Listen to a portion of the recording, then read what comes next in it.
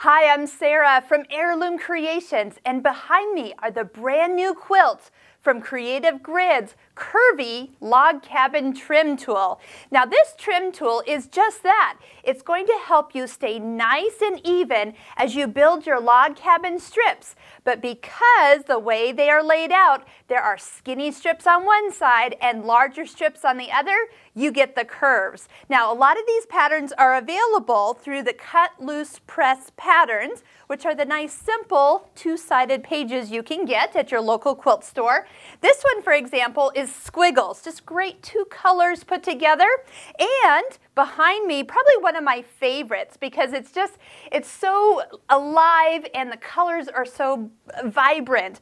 This one was probably the favorite one when I pulled it out of the box. Now, I don't know about you, but back in the day when I started quilting, everybody said, do a log cabin. It's a quilt in the day. And I went, okay. But I was young and I was still learning my quarter inch seam allowance. And I know this tool would have helped a ton because when I got finished, not all my blocks were all the same size, which made them a little harder to put together. But with this tool, what you end up doing is every time you put on a side or two, you trim because the marks are set to keep everything perfect. Now another thing it says is what size to cut. Since we have skinny ones and large ones, it says that you want to cut the narrow strips at least seven, er, excuse me, one and a half inches wide, which means if you have strips that are a little bit wider, you have a little bit more room to negotiate getting them perfectly trimmed up. And the wide strips are at least two and a quarter inch, which is really close to two and a half inch. So if you've cut up leftover strips and put them in your box for later use, you could use those for the larger size. Now this one over here is actually called Trim the Tree. And it does utilize the traditional log cabin trim tool for these regular center blocks where the sizes of all of the logs are the same. And then they've used the curvy trim tool to create the shape of the tree. Now here's what you're going to look at. When you start to put your colors together, depending on which way you layer them, you will either get circles or diamonds, which is what really brings these blocks alive. So if you're even considering doing a log cabin, why not make it with a little bit extra pizzazz and curve the finished look? So in here, the skinny strips are the lighter color, and here the larger strips uh, is the center and creates the circle. Now, once you get thinking about how you could change these blocks up, you will notice anything is possible. Look at that. With the heart, you are creating the shapes and blocks to be perfectly where you're at. Now, with a log cabin, it's very similar to a courthouse steps. So depending on how you actually lay out your fabrics, you could turn a courthouse step layout into something totally different. And this is called the Texas two-step with a little bit more modern flair. You want to see how this ruler really works? Let's sit down and see how you do the trimming. Here are the colors I've pulled out to play with some curvy log cabin blocks.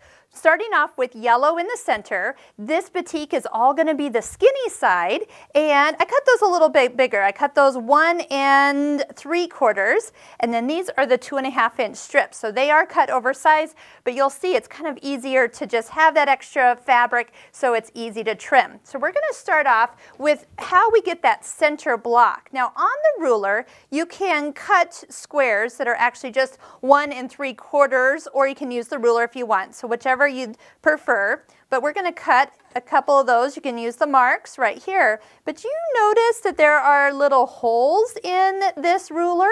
And that is so we can prep some of the first seams to be exactly one quarter inch. So take a fabric marker and mark all your center squares with the little dots. This is the Frixion pen, so this is going to iron away later.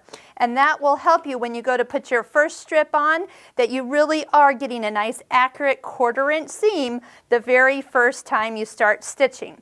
So after you start sewing around, so I did the larger ones and you do want to work clockwise. So we did the larger strips of pink and then these are the skinnier strips. Now we're ready for our first trimming. Now I do trim after I put on each piece, press and trim, press and trim, but this will really get you an idea how the ruler works.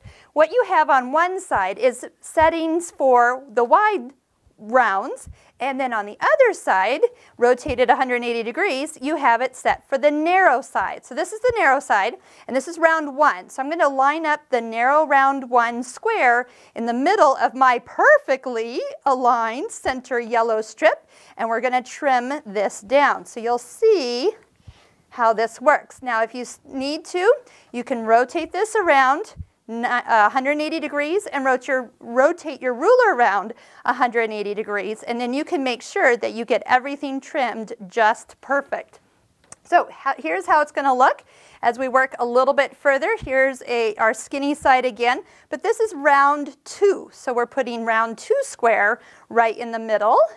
And we have dotted lines to really make sure that we are all within the proper boundaries for the perfect eight and a half inch finished block that we'll end up with. Once again, rotate around 90 degrees, uh, 180 degrees, and then this way you can get that second side here perfectly squared off for the next round of sewing. And I will tell you, these blocks come out so flat, your quilter's going to be happy because your quilt is going to come out flat. If you're quilting it yourself, you're going to be really impressed with how accurate these blocks are. Here's a side where we got the larger side, so we're going to find wide round three, around, let's see here, which round is this? This one is the wide side. Oh, this is one where you just kind of set this using the dotted lines for that second side here, just so I can get evened up. And then once again, we can kind of turn this so we get a nice even side. Turn the square. Don't forget to turn the square. It will be real obvious if you don't turn the square because nothing, none of the lines line up with any part of your actual block. Here we go. A little smidge off this side and that side too. Look at how we're going. How about one more? This is the final one. We're going to start with the narrow side. Round three. Perfect. I love, oh my goodness. I, it's almost like I've never sewed this perfect before, but you know what it is? It's really just the fact that I have trimmed on every single time. I have an accurate square before I start stitching again. And watch, here's where we're gonna do it. Rotate and rotate. And this will be our final size. This will take us right out to the absolute outside edges of this ruler.